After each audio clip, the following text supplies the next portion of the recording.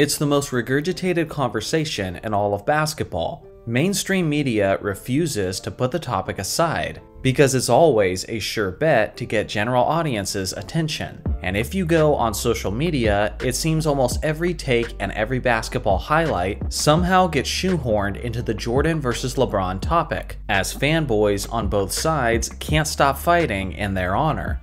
Now to be clear, I've made numerous videos on this topic, expressing my opinions, and over time, some of those stances have softened a bit. But although I've given my thoughts on who should be first, second, and third, I've never expressed my opinion on the actual overarching topic itself.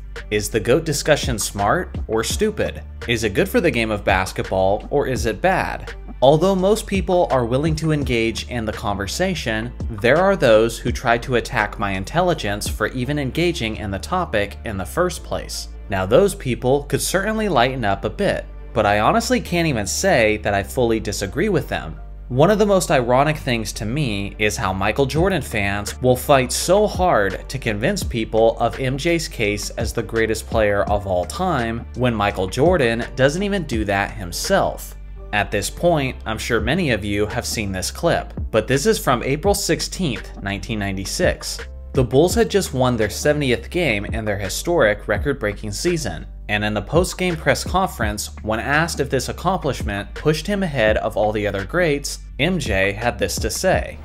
No, I think that's something that I, I really can't say can be established.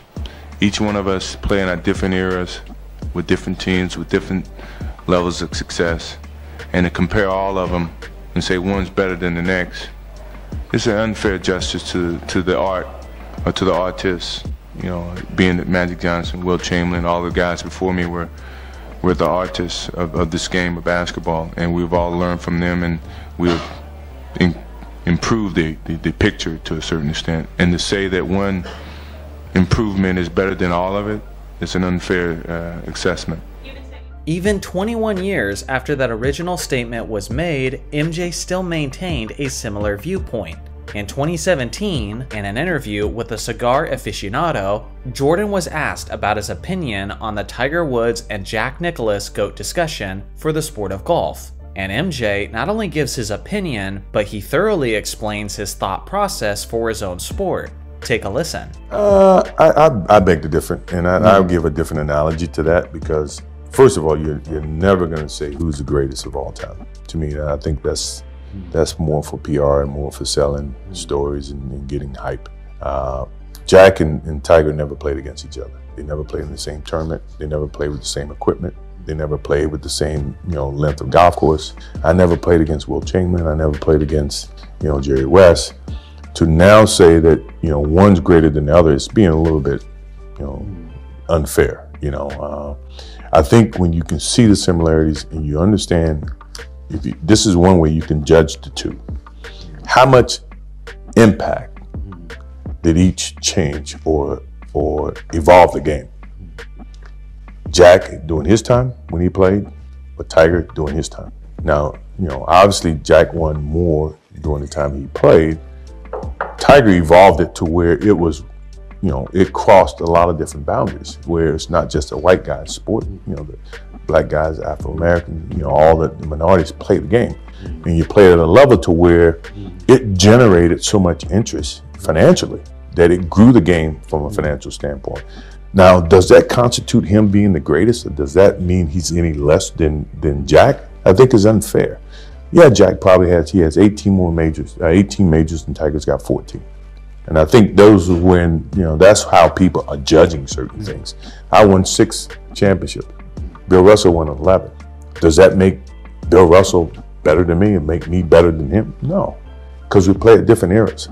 So when you try to equate who's the greatest of all time, it's an unfair parallel. It's an unfair choice. And I, I think, you know, those are the demons that, you know, obviously Tiger had to live with. And he's going to be challenged and he's going to be graded upon that.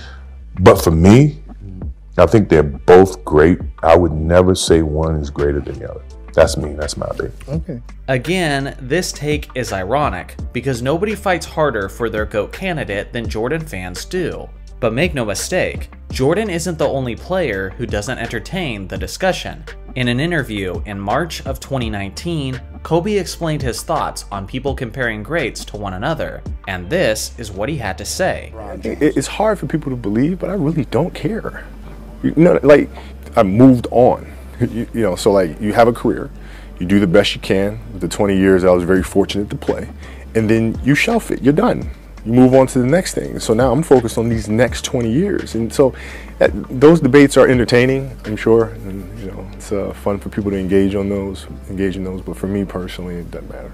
So when everyone gets into the is LeBron better than Kobe, whatever it is, and you hear it, you can't not hear it. You have like no reaction. Sure. No, I think the, the best way to explain it is I, I typically do not engage in things that I cannot definitively win. You, you, know what I'm saying? Sure. It's argument. Argue for what? If you agree with these perspectives from Michael Jordan and Kobe Bryant, then you basically agree that the GOAT conversation is ridiculous altogether. The thing is, not every GOAT candidate holds the same viewpoint and approach. Years ago, LeBron famously got the basketball world in a frenzy when he made this statement about himself. That one so right there made me the greatest player of all time. For That's so many reasons. I was super, super ecstatic to win one for Cleveland because of the 52 year drought. Like I was ecstatic. Like obviously, I showed that, that the first wave of emotion was when y'all everyone saw me crying. Like that was all for 52 years. Everything in sports going on in Cleveland. And then after I stopped, I was like, that one right there made you the greatest player of all time. You know, everybody was just talking how they were the greatest team of all time. Like they was the greatest team ever assembled. And for us to come back, you know, the way we came back in that fashion, I was like, now here's the thing. When LeBron made this statement, it initially seemed to do him more harm than good, as seemingly everyone began to take aim at him for his confident viewpoint. Generally, people don't like it when someone sings their own praises, and unless you have the right charisma and character to make it work, like Muhammad Ali for example, then people generally are not going to agree with you, and are usually going to try to remove you from the pedestal that you placed yourself on. Now, on the other hand, this was the comment that really sparked the debate, and LeBron used the narrative that has become one of his strongest arguments for the title of greatest player of all time. So maybe this was actually a brilliant move by LeBron, as he challenged people to think outside of the box of Jordan being the greatest ever. But it's just like MJ said, everything here is subjective. They're different players on different teams in different positions from different eras. There's basically no way to objectively compare these legends side by side to one another, because there's just too many variables that are literally impossible to accurately quantify. So basically, I agree. The GOAT debate is in fact stupid, and it's ridiculous how emotionally involved people get over something that they can't objectively win. Now that I've established my view that the GOAT debate is in fact ridiculous and doesn't deserve much credibility whatsoever, I could just end the video here and now, but I'm not doing that, because I believe that the GOAT debate is also awesome. Like I said before, people have criticized me for engaging in this debate as often as I do, and although I see where they're coming from, I also think they're missing one of the fundamental realities of the game of basketball and of sports in general. This is all about competition. The most simplistic objective of basketball is scoring more points than the other team to win the game. It's a competitive form of measurement, so of course, players and fans are naturally going to make those competitive measurements on an individual level. It's simply an extension of that competitive nature. As much as Michael Jordan and Kobe Bryant want to act like they're above these comparisons, to a certain extent, these are debates they've also engaged in at one point or another. In 1997, at the ceremony of the 50 greatest players of all time, multiple witnesses have claimed that they saw Michael Jordan and Wilt Chamberlain having an extensive debate on which one of them was better. In 2012, at the Drew League, Kobe engaged with a fan, claiming that he was above Michael Jordan on the all time list. And another legend, Bill Russell, has never been shy about making his case above Wilt Chamberlain and Michael Jordan.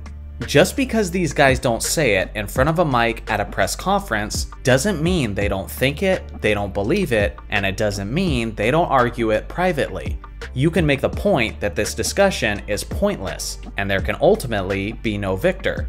But let's be real, we're competitive guys and we're still gonna try. In my mind, basketball lore isn't all that different from superhero lore.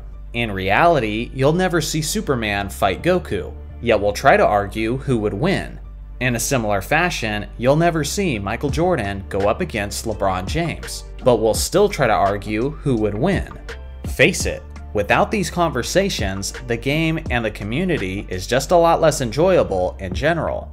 But I will say this, if I have one bit of advice for the GOAT discussion, it would be to just remember, like Kobe said, there cannot possibly be an objective winner. So don't foolishly attach your emotional state to it. It's truly not worth that much of your energy. And if it is something that goes as far as affecting your mental health or how you treat others, then maybe it's time for some reflection, and considering the fact that maybe you've taken this a bit too far.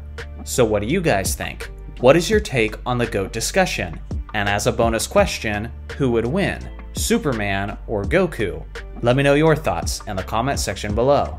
Thanks for watching as always, make sure to like and subscribe for more basketball content, and I'll see you guys in the next video.